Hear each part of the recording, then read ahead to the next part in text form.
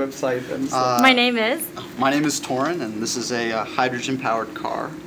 Uh, it works by applying an electricity of some kind. It can be from a solar cell, a wind uh, turbine, or a battery. And uh, what it does is it uses electrical energy to separate hydrogen and oxygen and water, and to create pure hydrogen, which is a great carrier of energy.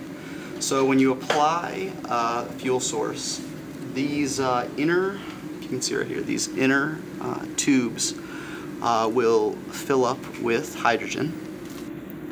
And once you disconnect the fuel source, it's able to hold on to the energy. It, st- it stores energy in a fuel cell.